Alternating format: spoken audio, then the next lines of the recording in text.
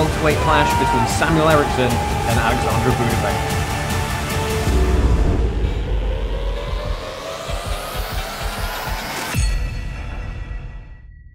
Hey everybody, Bas Rutten here. Karate Combat 40 is coming up June 24th in Miami, Florida. In the main event, we have a welterweight championship on our hands between our champion Joshua Quayhagen and between the guy who's considered by many the GOAT of karate, Rafael Aghayev. But wait, there's more. We have another fantastic fight between Samuel Ericsson and Alexandre Bouderbane. And what do you know? Today I am joined by these two fine gentlemen. Now let's start first with Samuel because I heard Alexandre challenged you, and I know that you were preparing for a boxing match for the Boxing Misfits uh, that got delayed. But how do you react to that? What, what what do you think when somebody challenges you specifically? To be honest, I have uh, many fighters from Karate Combat has challenged me um, since I first did my fight with uh, Alberto in Karate Combat, which were, I think, maybe the start of my journey in Karate Combat. Because before uh, as you remember, I was working with Karate Combat, but since I officially signed and fought the first fight, there are many people, many fighters from Karate Combat that are reaching out and want to fight. When I looked in my DMs, actually, I was sliding in my own DMs, and uh, I remembered that Bouderbane was challenging me one year ago, just before my Tarek fight, and I was like, let's do that one. You don't take anything personal. Is this nothing personal for you? it's not personal. Um, Tarek had a little bit different approach since he mentioned, you know, uh, he, he lied about me backing out, and he also mentioned my grandmother that, that passed away. But uh, in this case, I don't take it personal. I didn't take it that personal with Tarek either, but it was just, you know, for me, it's personal because I need to really pause everything else I'm doing. So it's personal in a sense that I, since I'm not fighting only as a career. It really needs to be the right fit in, in, in the right moment, and I need to have the right motivation and all of that stuff. So, but it's more personal for me, not personal as I'm I'm not, you know, intimidated by by the challenge. I like it. Good. And uh, and Alexandra, why why would you go after Samuel Ericsson? Alors, au départ, to begin, I told Samuel that I was very happy that he rejoined Karate Combat so that we can fight. I challenged him to fight, but in a friendly way. We're not in the same category to fight each other, so nothing official, not anything official. What I meant was one day to train and to fight together, but I think Samuel took that personally and was a bit pissed off after that. He asked, You want to fight me? I said, of course, but once again, in that friendly way. But it was taken personally, so I entered the game. Samuel is such an example in martial arts social media, and it's a great challenge that he accepted. C'est un très gros challenge qu'il a accepté du coup de... Bah, il a du coup accepté pour combattre avec moi. Et moi, I'm very happy because I want to also fight him. We have similar styles. Uh, we didn't see much of him in his two fights. What I mean is we don't see much of his karate, martial arts, or what he does. So I think it'll be a great fight for both of us to see each other's styles. Okay, and uh, Samuel, like uh, we talked about it, you're preparing for a boxing match. Is this something we're going to see now in this fight? Are you going to put the legs on the back burner and you're going to use more hands?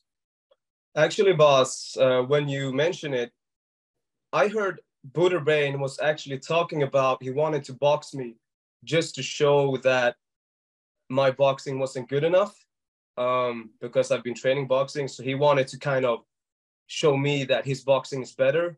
So he, I heard something about he wanted to like the first round he was only going to throw hands to kind of prove that my boxing wasn't as good as his.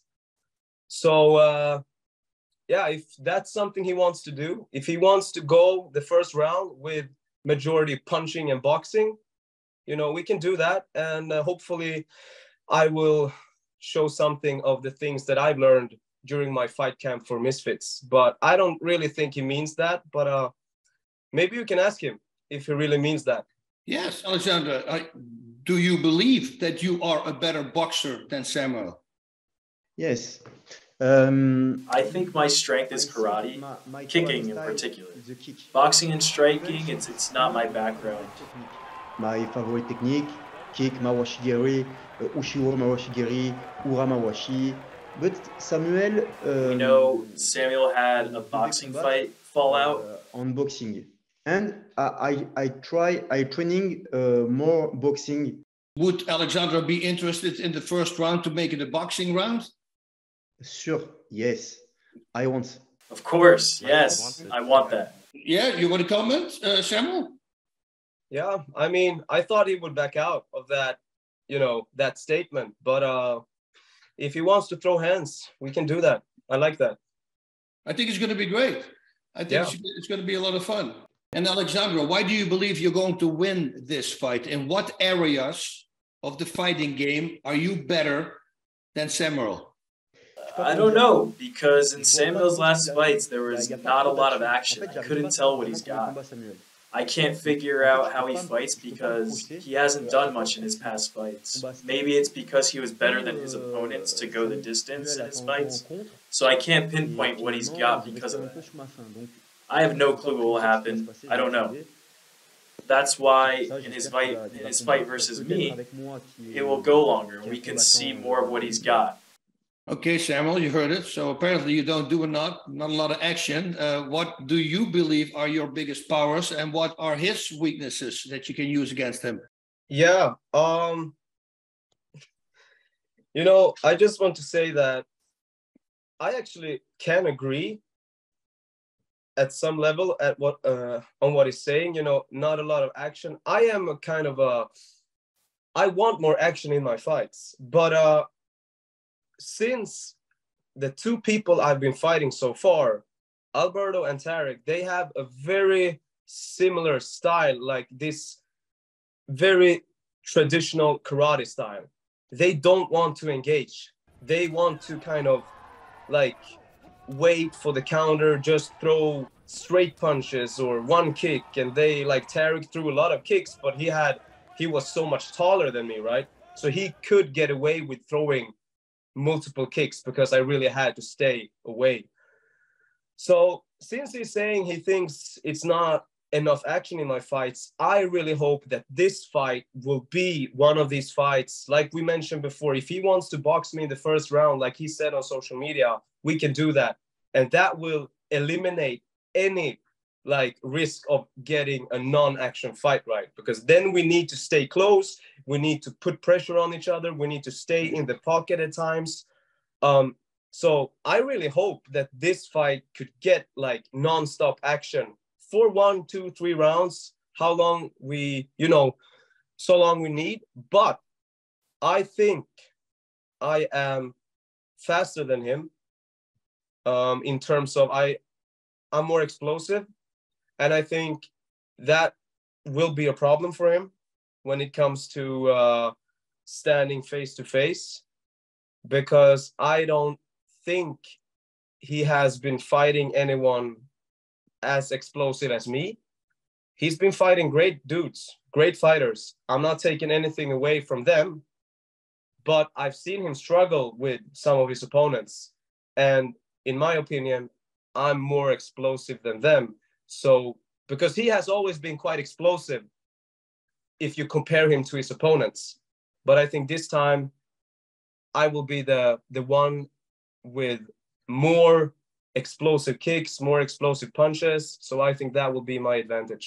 I think it would be a really great fight if you guys would choose to do hands with knees. Can you imagine that? I'm, I'm just spitballing here, right? Just punching and throwing knees. As you know, in karate combat, we cannot grab your opponent when you throw knees. You have to throw them like kicks, you know. But I think that could be a very interesting match because knees, of course, keep you very close by, as the same as with boxing. Is that something uh, you'll be open to, both of you? Let's start with Alexandra. I think for karate combat, it's it's a good idea because the new new I think for karate combat, it could be a good idea with uh, the new rules.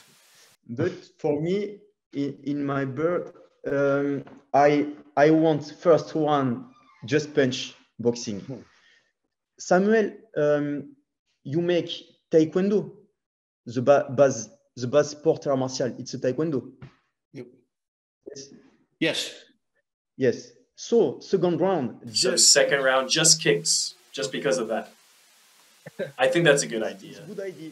And to remind you, my nickname is the Flash. My, my nickname is Are you more explosive, Samuel? I don't know, but I am the Flash, and my kicks are like lightning. So that's why in the third round, I wanted to be all of our techniques mixed together. All technique. Okay. Ah, Samuel?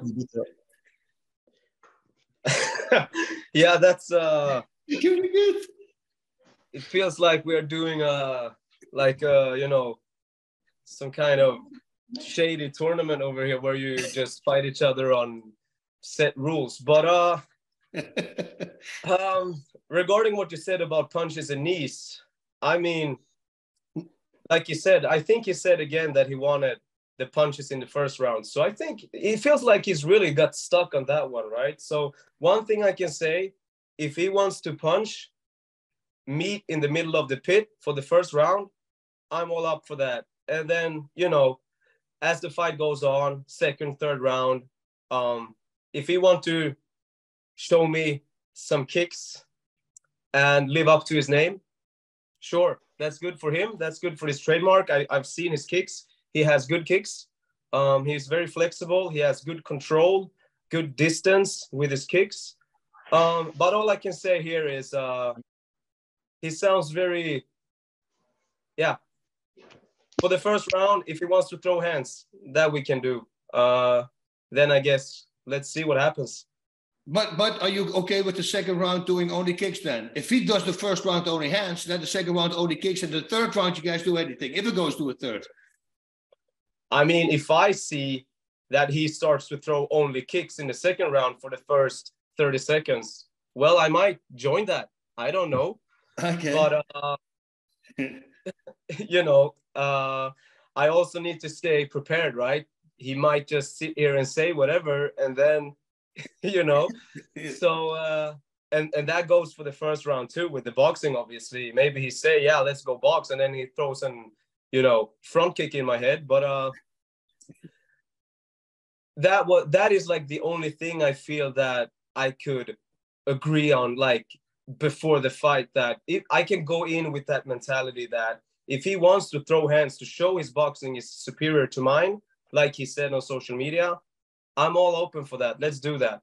But you know, then it's I think it's hard also to kind of punch his kicks and it's all all rules. That also that means that the fight must go to the second round, to the third round. Yep. So that is also one thing you can't really predict or or, or agree on, right? But True. like I said, I repeat myself. If he wants to box first round, let's fucking do it.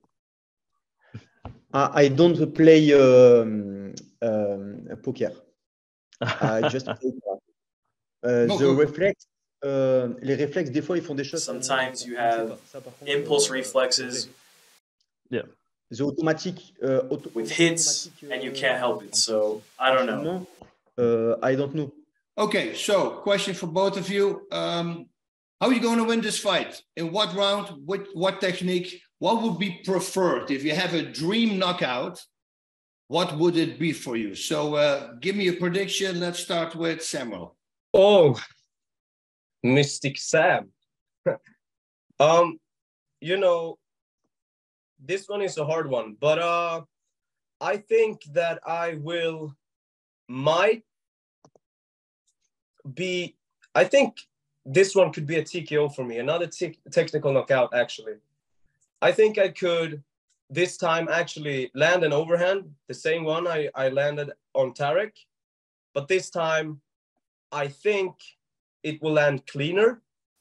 So the ground and pound, the the referee will, will stop the ground and pound because last time we all know the five second rule. But if I had three to five more seconds in that first round, in that when I had him in the corner, I think uh, that would be a technical knockout already. So I can see a second round finish by ground and pound. So he's laughing a bit. That's okay. Why not? Pour ce combat, sincèrement, j'aimerais bien que le combat soit difficile pour tous les deux. Why not? I want this fight to be difficult for both of us. Excité, tout le monde crie, et qu'à la fin, mais sur les dix dernières secondes, je lui mets un KO, peu importe comment. I want the crowd cheering and excited, and then in the last second of the third, a kick to the head, a clean one, a nice clean karate kick, and down he goes. Sur les dernières secondes du troisième round. Ça, ce serait magnifique. Very nice. All right, yeah. guys. Well, I think we came to our end. Um, for the people at home, please watch Karate Combat June 24th. That's in two weekends in Miami, Florida. This is going to be a battle of the influencers. Let's see who's going to get the most followers. For what I understand, Bouderbane has the most followers on TikTok, but then again, Samuel has the most followers on uh, Instagram. Whose follower list is going to grow? We're going to find out. And you just make sure that you follow Karate Combat. Go to karate.com. Make sure that you also have the Karate app and start working with the karate tokens. This is also very important because then the fighters can make more money, you can more, make more money, and you can actually not lose. So really look into that karate.com is the way to go to also see and find out how you can watch Karate Combat 40. Godspeed, everybody. Thank you very much for joining. And we'll Thank you so much, Thank you. Thank you, Bas. Thank you, Daniel. Thank you, Samuel. Hmm. Thank, Thank you, guys. Godspeed. Thanks for watching. I'm Layla, and if you liked what you just saw, make sure you subscribe.